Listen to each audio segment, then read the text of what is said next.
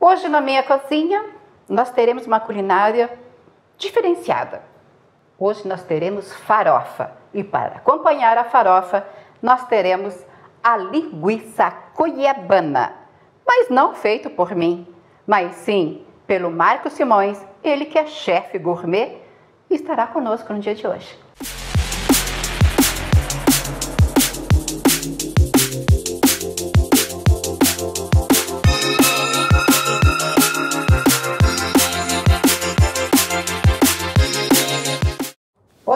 Estamos recebendo o senhor Marcos Simões na nossa cozinha, ele que é chefe gourmet. Tamires, hoje nós vamos fazer uma farofa campeira, uma criação minha, né? Uhum. É, com uma carne de sol, com um charque, que eu mesmo faço na minha residência. Né? Uhum. Nós vamos fazer com uma linguiça cuiabana, né? depois eu vou estar falando sobre a linguiça cuiabana, que é, ela tem algumas características e é, essa, essa farofa, essa, essa farofa, a gente vai estar utilizando vários ingredientes. Bom, conforme você vai fazendo, você vai colocando os ingredientes, você vai falando então, Isso. para que o pessoal de casa tenha tempo, né? Tenha um tempo aí de anotar tudo que o Marcos for fazendo. Então, nós vamos... Pode deixar que eu ligo. Isso. De, de do meu fogão só eu Isso. entendo. Nós vamos esquentar um pouco a frigideira. Né? Isso, né? porque ela é demora muito... um pouquinho. Isso aqui né? é muito importante. Tá? E é, após ela esquentar, enquanto ela esquenta, eu vou falar um pouco da linguiça cuiabana. Então fala, vamos aproveitar para saber Isso. da história. É uma história curtinha, mas muito bonita. Então, é, a linguiça cuiabana é muito é, é, de Cuiabá, mas ela tem uma história, de, de acordo com alguns historiadores, de um, de um senhor, de vários fazendeiros, lá de Paulo de Faria, que é uma cidade do interior de São Paulo, divisa com Minas Gerais, do qual eles faziam viagens é, para a busca de animais, nas, em, tanto em Goiás, em Minas Gerais e também no Mato Grosso, no Mato Grosso. E lá eles conheceram é, uma, uma, das, uma cozinheira cuiabana, fazia essa tal linguiça que essa linguiça ela tem várias características. Primeiro, ela é feita de carne de vaca ou carne de boi. Né? Uhum. Ela é picada na faca, ela não é moída. Né? Ela vai queijo junto com Bem ela, queijo, queijo, mineiro. Né? E, é, e outra coisa, ela é emulsificada, que a linguiça precisa ser emulsificada com leite. Ah. E ela fica no leite durante 12 a 18 horas para depois ser ensacada. Então é uma coisa assim bem diferente. Tá? É, e nessa cidade de Paulo de Farias é muito difundida essa linguiça. Essa linguiça cuiabana que veio lá cuiabana. do Mato Grosso. E quem vai no, no Mato Grosso, ela tem, é muito consumida.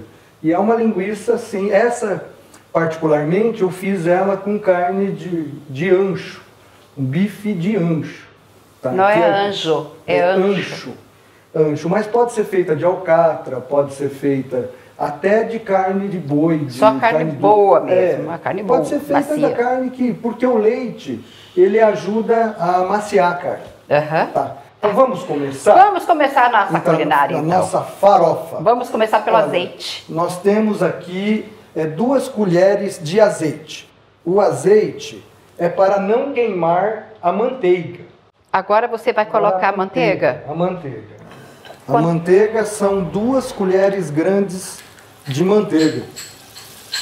Essa é uma farofa que vai muita manteiga. E a manteiga ajuda... Manter úmida. Isso, manter úmida também ela, né?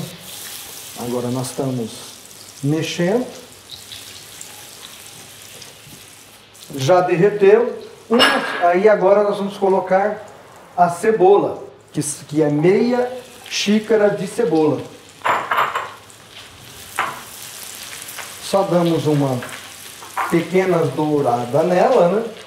E agora nós estamos acrescentando mais... É, dois dentes dois, de alho. É, dois dentes de alho. Acrescentando os dois dentes de alho.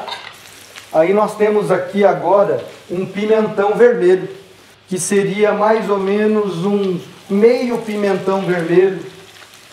Depende, isso aí seria a gosto. Agora nós estamos dando uma fritada nele, né? Dando uma fritada nele. E aí nós vamos acrescentar, estou acrescentando um pouco de vagem, uhum. que seria mais ou menos uns 50 ml, uns 50 gramas de, de vagem, para dar um pouco de cor. Para uhum. dar um pouco de cor. Aí nós, teremos, nós temos também umas oito azeitonas, né?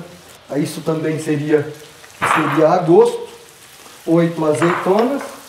E agora o queijo nós vamos passar ele na segunda etapa. Agora nós temos o charque, que seria a carne seca. A carne seca, é, a carne seca nessa farofa é em torno de 150 gramas. 150 a 200 gramas. Esse aqui eu fiz, essa carne seca aqui eu fiz de corte americano em casa. Tá. E daí você faz tudo isso e depois coloca no sol. É, essa carne aqui eu não ponho no sol, eu faço ela num processo que a gente chama de troca de seiva. Eu vou trocando o sal dela todos os dias, durante sete dias. Nossa, se na geladeira. Se eu tiver vontade de comer uma carne só, eu vou perder a vontade. Aí, olha aqui, ó. Sete dias. Aí eu vou tirando aquela água que sai da carne, né? Da carne. Olha, agora nós já começamos a Ai, que bacana que fica. Olha, fica bem colorido. Aqui nós temos a nossa carne. Agora nós vamos acrescentar um queijo coalho, que seriam dois tabletinhos de queijo coalho cortado é, em cubinho. Cortado em cubinho. Bom, ela já. Agora já vamos. Você vai, você vai usar duas farinhas. É, eu vou usar a farinha biju, né? Eu vou usar a farinha biju. Eu gosto da farinha biju. Eu Também tenho, gosto. Tenho, e seria um pouco de farinha biju. Isso aqui é a gosto de cada um. E a farinha de e, milho. E a farinha de milho, que você vai dar a crocância na farofa. Aí você... a farofa fica crocante por motivo da farinha, então? É, a farinha por causa, também é, da manteiga, né? Da quantidade hum, de manteiga sim. que a gente acaba que a gente acaba utilizando. E se nós colocarmos muita farinha, ela vai ficar seca. Uhum, então, entendi. por isso que a gente tem que cuidar dessa quantidade. Você pode até pôr mais farinha, desde que você coloque mais manteiga. Sim, sim. Se você utilizar mais manteiga ou azeite, você pode estar tá utilizando utilizando mais farinha. Né? Uhum. Já fizemos a nossa farofa. Puxa, e Isso. a cebolinha? A cebolinha, ela é por último, é por último né? Para a gente dar cor nela, né? Uhum. Isso. E eu, como gosto, é, adoro pimenta moído na hora, então tudo que eu faço, eu gosto de acrescentar uma, um pouco de pimenta. De pimenta. Essa aqui é uma pimenta rosa. Então, isso que eu te perguntar, ela porque é diferente. Ela tem, é porque ela tem um sabor diferenciado. Tá? Uhum. Ela tem um sabor. Um, um, ela não é tão forte como a pimenta do reino. Né? Sim. Isso aqui é uma pimenta da Índia. É só um pouquinho, não precisa ser muita coisa. E Sim. aqui nós já temos, nós já temos a nossa, a nossa farofa pronta, nossa farofa, farofa nossa, campeira. Farofa, é rápido em termos, porque a carne leva sete dias para ficar pronta. Isso. Bom, agora nós vamos montar o prato, então, e vamos mostrar para vocês ele prontinho. Isso. E eu vou degustar. É a hora mais Isso. difícil que eu acho. É a hora de experimentar. Tudo bem.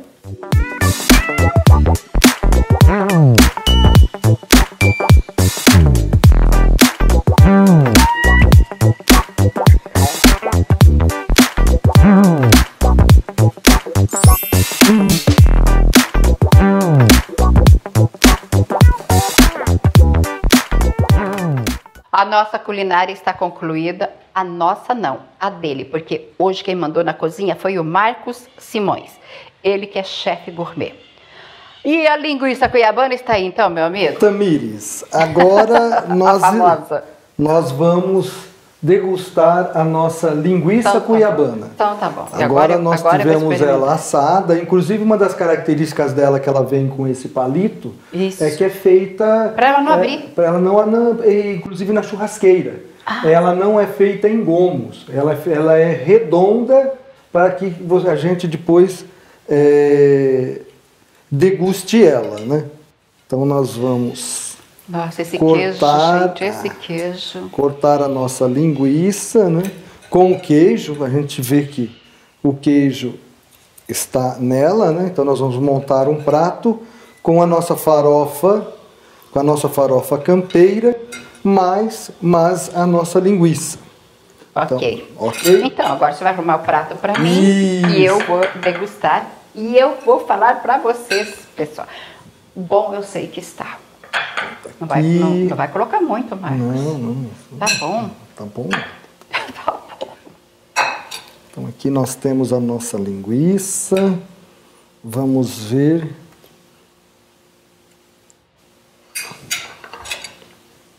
Pega o vazio que eu pego o cheio. Isso. É isso. bem mais interessante. Bom, isso Então nós temos hoje aqui uma, uma carne seca. eu já vou experimentar. Isso, pode ficar à vontade. Aqui nós teremos Que crocante. essa linguiça também com queijo. Né?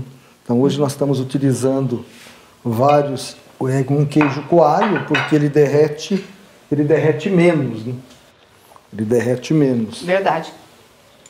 A linguiça, se a gente tivesse tirado ela do forno já e tivesse Então, experimentado, tá- o queijo fica escorrendo. Mas nós desligamos Hum. faz uns 20 minutos, então o queijo não está escorrendo.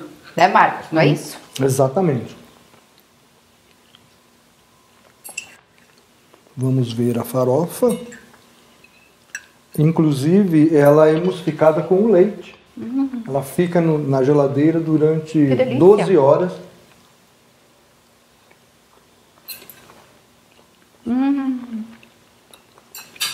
Realmente, Um espetáculo, gente. Demora para ficar pronto, porque fica uns sete dias aí, porque ima- imagina só linguiça no leite e tudo, tá, tá. mas compensou. Que delícia. Eu gosto muito do seu tempero, sabia? Você, ele já me trouxe a linguiça aqui em casa, já. Ele me trouxe charque também, né? sim. Mas ele tem, um, você tem um- uma mão muito boa para tempero, para o sal principalmente. Adorei, Então, e eu aprendi a fazer essa linguiça numa escola de, de charcutaria chamada Cava, Cava Escola de Charcutaria. Aonde? É uma escola online. tá? ah, é o sim. seu Viu? Tudo a Peterson, gente aprende, sempre isso, o seu aprendendo. Peterson é, Rebeck. Aham. Tá? E ele tem essa escola, é um químico, que já fazem já uns sete ou oito anos, que ele vem ensinando gente aí no Brasil inteiro a fazer um produto de qualidade, artesanalmente, né? usando todos os, os processos de segurança eh, alimentar. E muita gente tem utilizado isso para vender, inclusive, os seus produtos artesanalmente. Eu faço parte, inclusive, de um grupo nacional né? que a gente troca experiências sobre a charcutaria e o que pode ser melhorado com a experiência de mais ou menos umas 200 pessoas.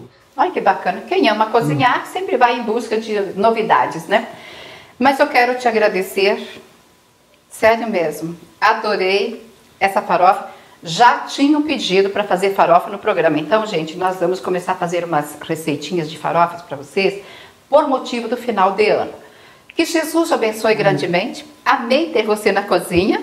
Logo, logo nós teremos o Luiz também, que ele é o chefe também. Ok, né? muito obrigado. Luiz, um beijo grande para você. Até a próxima. Muito obrigado.